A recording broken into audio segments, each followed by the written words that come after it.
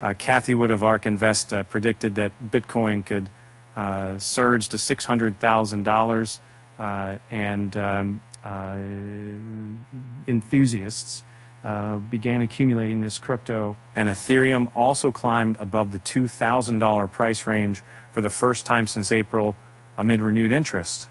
Everlodge is also making waves as it entered stage seven of its pre-sale. To see how far each crypto can climb, we will be going over them individually.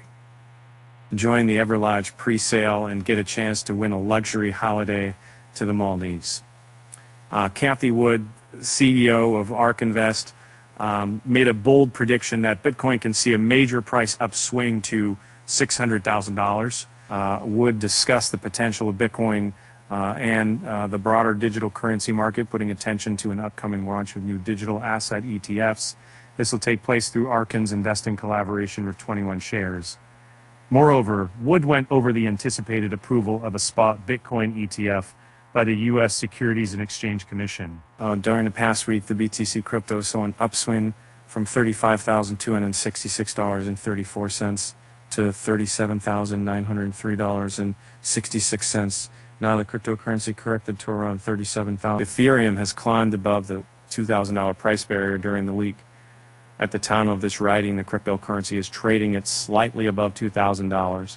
Um, and there's been an increased uh, euphoria surrounding the crypto, especially after the filing of the first Ethereum spot uh, exchange traded fund by global leading asset manager BlackRock. As for the recent price performance, Ethereum saw an increase of 25% in the past 30 days. The crypto went up in value from $1,913.93 to a maximum point of $2,128.61. Uh, aside from Bitcoin uh, and Ethereum, uh, really another crypto to watch is Everlodge. This is an upcoming real estate marketplace that is being developed to enable anyone globally the opportunity to access the otherwise illiquid market. The platform will make it accessible through fractional NFT ownership. Uh, each property will be digitized and then split into smaller pieces worth just $100 each. This way, enthusiasts will be able to diversify their holdings whilst also retaining benefits. As the property increases in value, the NFT could climb as well. Moreover, they can get rental income from properties depending on their ownership percentage. ELDG is the native distribution for crypto, and it can be staked for passive income.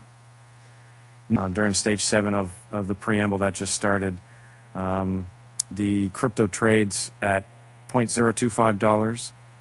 Um, uh, find out more about the Everlodge pre-sale and an Ever Dr. Airy uh, and City. Uh, some of my favorite uh, all the time and all the 17 turn off and down five months. my baby hand shot for a Sun province, and I was walk out, and I made Miami